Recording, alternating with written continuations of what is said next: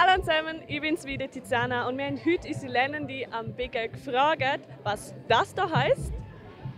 Feine gehen Imprendissadi, mach mal eine Lehre. BKW Lernende, wo sind ihr?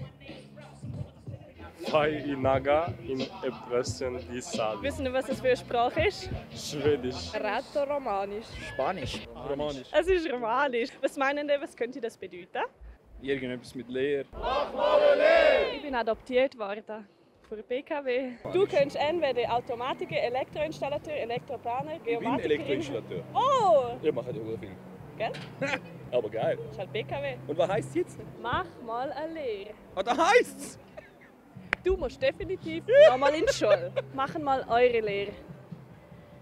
Okay, tu es auflesen. Heizer. Heizer. Okay, wäre ich nicht drauf gekommen. Gebäudeinformatikerin. Nein. Geomatikerin. Nein. Heizungsinstallateur. Ja.